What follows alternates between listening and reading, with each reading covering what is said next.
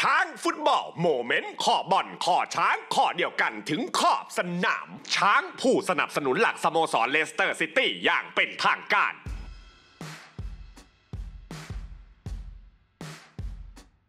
ขอบสนาม top 10 วันนี้ขอเสนอตอน 10 แข้งค่าตัวย้ายทีมสะสมโคตรแพงที่สุดตลอดกาลอาจมีคำหยาบที่ท่านฟังและระคายหูกระผมขอยกมือไหว้ขออภัยท่านมาณที่นี้ด้วยหากดูและชอบใจชอบใจ ปุ่มไลค์ปุ่มแชร์อยู่ใกล้ๆลืมกดให้ขอบสนามหน่อยนะครับ อันดับที่ 10 เอเดนอาซาร์ราคาทั้งหมด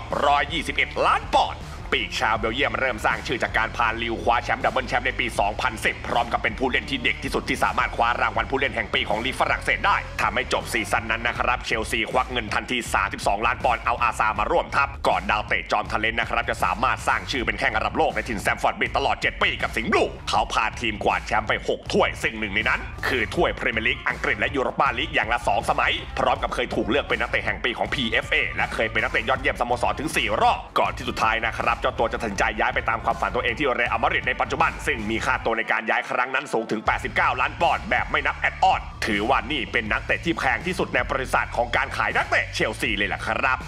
อันดับที่ 9 อองตวนกรีซมันน์ราคารวมทั้งหมด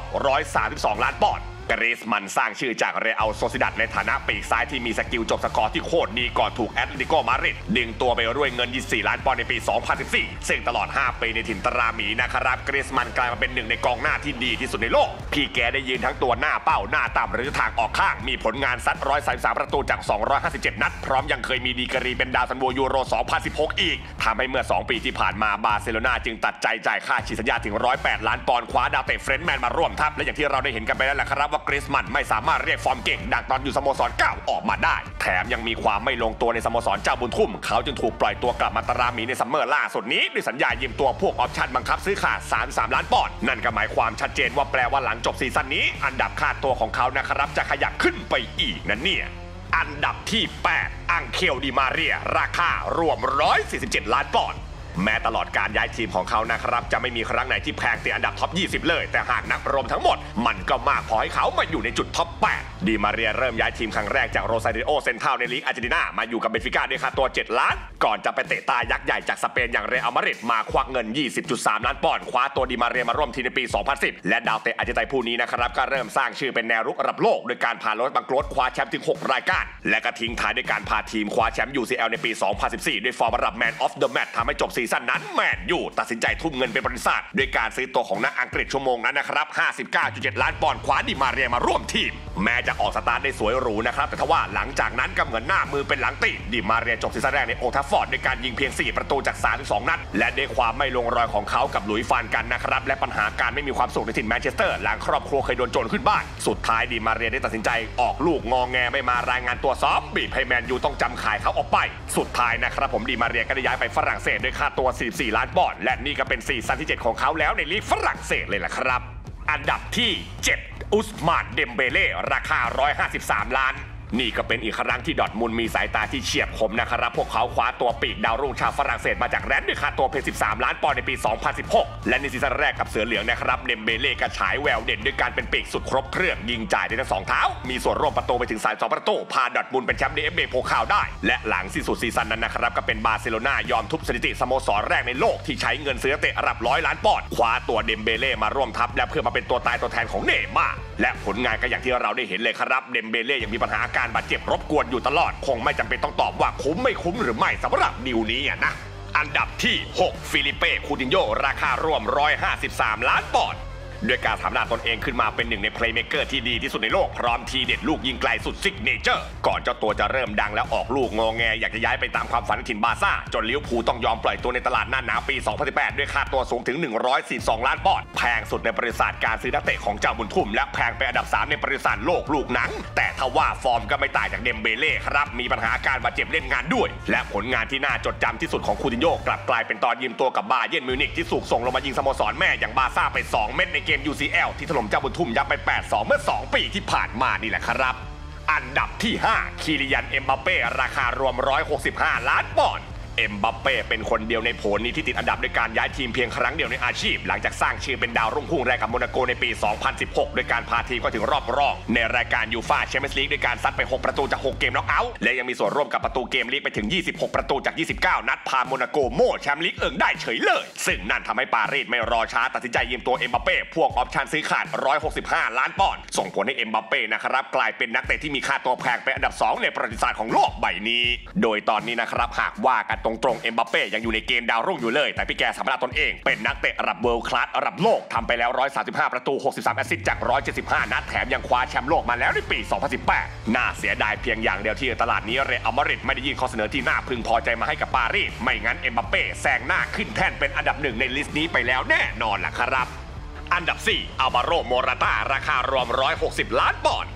นี่ก็เป็นอีกคนที่ไม่เคยมีค่าตัวติดอันดับท็อป 30 เลย แต่ก็สามารถมีค่าตัวสะสมแพงเป็นอันดับ 4 ตลอดกาลของโลกใบนี้ได้ โดยโมราตานะครับ เริ่มเริ่มค่อยพัฒนาตัวเองมาจากทีมเยาวชนมาดริดจนถึงทีมชุดใหญ่ และก็ถูกยูเวนตุสดึงตัวไปร่วมทีมด้วยค่าตัว 17 ล้านปอนด์และในลีกเดอิตาลีนะครับโมราตาก็เริ่มฉายแววเด่นเป็นกองหน้าอนาคตไกลจนได้ 2 ปีต่อมานะครับผมเรอัลมาดริดตัดสินใจใช้ option ดึงตัวเขากลับ แต่ก็ใช้งานไปได้แค่ซีซั่นเดียวเท่านั้น ราชันชุดขาวก็ยอมปล่อยโมราตาไปอยู่กับเชลซีหลังจากได้ค่าตัว 60 ล้านปอนด์แพงเป็นสถิติสโมสรสิงห์บลูในตอนนั้นซึ่งผลงานก็อย่างที่เรารู้ครับโมราตาสอบตกในพรีเมียร์ลีกยิงไปเพียง 16 ประตูตลอดซีซั่นครึ่งในลีกอังกฤษทำให้เชลซีนะครับเลือกขายเขาออกไปอยู่กับแอตมาดริดด้วยสัญญายืมตัวพ่วง option ซื้อขาดแบบมีมูลค่าใกล้เคียงกับตอนที่ซื้อมา แต่ทว่าการกลับมากับทีมสเปนครั้งนี้นะครับก็ไม่สามารถเรียกฟอร์มเก่าเขากลับมาได้ เขายังถูกตราหมีผลักไสไปยืมตัวต่อกับยูเวนตุสอีก 2 ปี ซึ่งสำหรับตัวกองหน้าคนนี้แหละครับหากดูสถิติแล้วก็ต้องบอกว่าน่าทึ่งตำลึงทอดที่โมราตาสามารถมีค่าตัวสะสมได้มากมายถึง 160 ล้านปอนด์ที่พี่แกนะครับไม่เคยยิงเกมลีกซีซั่นเดียวได้มากเกิน 16 เม็ดเลยด้วยซ้ำอันดับที่ 3 คริสเตียโนโรนัลโด ราคาการย้ายทีมทั้งหมด 210 ล้านปอนด์คงไม่แปลกหากจะมีหนึ่งในนักเตะที่ดีสุดในประวัติศาสตร์โลกติดมาในโผนี้ อย่างที่ทุกคนจำกันได้แหละครับว่าโรนัลโดในวัยคะนอง ย้ายจากลิสบอนมาอยู่แมนยูด้วยค่าตัว 12 ล้าน และพี่โด้ก็สถาปนาตนเองเป็นหนึ่งในนักเตะที่ดีสุดในโลก พาปีศาจแดงคว้าแชมป์พรีเมียร์ลีกมา 4 สมัย อยู่ฝ่ายแชมเปี้ยนลีกอีกหนึ่งรอบพร้อมกับคว้ารางวัลบอลลงดอร์ครั้งแรกที่นี่ แถมยังซิวรางวัลดาวซัลโวไปอีกหลายรายการจนสุดท้ายโรนัลโดตั้งปณิธานอยากตามความฝันไปย้ายเล่นที่เรอัลมาดริดอีกแล้ว และมันก็เกิดขึ้นจริงในปี 2009 ที่โรนัลโดนะครับผมสร้างสถิติกองโลกเป็นนักเตะที่มีค่าตัวแพงสุดในตอนนั้นราคา 80 ล้าน ซึ่งตอนนั้นนะครับต้องบอกเลยว่า 80 ล้านโคตรจะแพง และไม่ต้องสัทยายเพิ่มเติมครับว่ามาริดนั้นคุ้มค่าทุกปอนที่จ่ายเป็นค่าตัวเขา และมันอาจจะเป็นหนึ่งในดีลย้ายทีมที่ดีที่สุดในประวัติศาสตร์ของโลกใบนี้เลยก็ว่าได้ พีโดกดไป 450 ประตูจาก 438 นัดกับโลสบลังโกสสร้างสถิติเป็นดาวซัลโวตลอดกาลของสโมสรพาคว้าแชมป์ลาลิก้า2สมัยยูฟ่าแชมเปี้ยนลีก4สมัยพร้อมกับคว้ารางวัลส่วนตัวเป็นบอลลงดอร์ลูกที่ 5ซึ่งจากนั้นนะครับผมพี่โด้ก็ออกมาหาความท้าทายใหม่อีกครั้งกับอิตาลีในยูเวนตุสเมื่อปี 2018 ด้วยค่าตัวที่มากกว่าเดิมๆ ที่ราวๆ 85 ล้านทั้งทั้งที่พี่แกวัยเลข3นะครับ แต่ก็นั่นแหละครับ อายุเป็นเพียงตัวเลขสำหรับชายคนนี้ เขาพายูเวนตุสคว้าแชมป์มาถึง 5 แชมป์จาก 3 ปี ไหนจะคว้าดาวซัลโวเซเรียอามาได้ในซีซั่นล่าสุด ก่อนจะสร้างเซอร์ไพรส์ครั้งใหญ่ในตลาดนี้นะครับด้วยการย้ายออกจากตามลีโอเนลเมสซี่เสียเลย การย้ายกลับมาโอลด์แทรฟฟอร์ดครั้งนี้นะครับหลังจากออกไปใน 12 ปี คราวนี้มีค่าตัวไม่แพงแต่โคตรคุ้มราคาเพียงแค่ 20 ล้านปอนด์ส่งผลให้พี่โด้นะครับ ขึ้นมาอยู่อันดับที่ 3 ใน list นี้ อันดับที่ 2 เนย์มาร์ราคา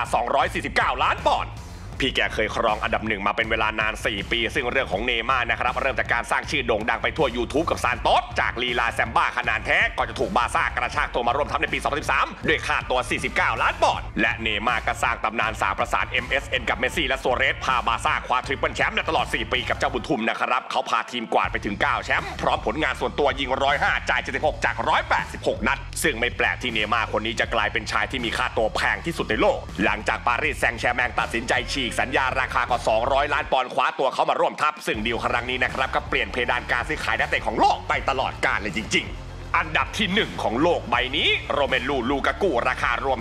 291 ล้านปอนด์ พึ่งขึ้นมาครองอันดับหนึ่งนะครับผมแบบมันมาในซัมเมอร์นี้หลังย้ายกลับมาเชลซีด้วยค่าตัวเกือบร้อยล้านพี่ตู่ของเราเริ่มย้ายสโมสรแบบมีค่าตัวครั้งแรกนะครับจากการถูกเชลซีดึงตัวมาจากอันเดอร์เลชท์ในลีกเบลเยียมมาปี 2011 ก่อนจะถูกส่งตัวไปยืมแล้วก็สร้างชื่อกับเวสต์บรอมวิชแต่ทว่าลูกากูยังไม่สามารถหาพื้นที่ในถิ่นสแตมฟอร์ดบริดจ์ได้ จนต้องย้ายออกไปเอเวอร์ตันมาปี 2013 ด้วยค่าตัวเกือบ 30 ล้านปอนด์มาคราวนี้นะครับเขาสร้างชื่อในพรีเมียร์ลีกแบบเต็มตัวด้วยฐานะเครื่องจักรสังหารถล่มประตูสุดครบเครื่องทั้งเร็วทั้งแข็งแกร่งก่อนพี่แกจะจบซีซั่นสุดท้ายกับสโมสรแห่งนี้ด้วยการยิงไปถึง25 ประตูจาก 37 นัดในพรีเมียร์ลีก เป็นเหตุให้แมนยูนะครับยอมทุ่มเงินถึง 75 ล้านปอนด์คว้าตัวเขามาร่วมทัพ แต่ผลงานลูกากูกลับไม่เป็นดังหวัง สุดท้ายกระดำดิ่งกลายเป็นแพะรับบาปกับผลงานที่ย่ำแย่ของแมนยูในช่วงนั้น ซึ่งก่อนปิดซีซั่น 2019 นะครับผมซีซั่นสุดท้ายของเขาที่โอลด์แทรฟฟอร์ดพี่แกยิงไปได้เพียง 12 ประตูในพรีเมียร์ลีกแต่ดูเหมือนว่ายังโชคดีที่แมนยูสามารถขายลูกากูต่อให้กับอินเตอร์มิลานในราคาที่เท่าๆกับตอนที่ซื้อมา ซึ่งนี่ไม่ใช่การถูกหลอกขายครับเพราะว่าอินเตอร์มิลานกลับได้หนึ่งในกองหน้าที่ดีสุดในโลกมา เขาเป็นลูกากูร่างทองร่าง peak นี่เอง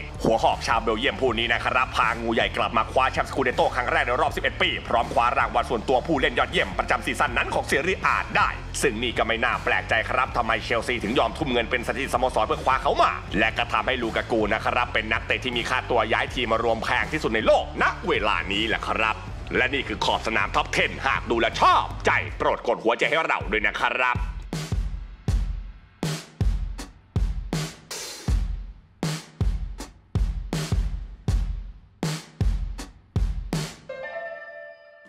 football moment ขอบอลขอช้างขอเดียวกันถึงขอบสนาม ช้างผู้สนับสนุนหลักสโมสรเลสเตอร์ซิตี้อย่างเป็นทางการ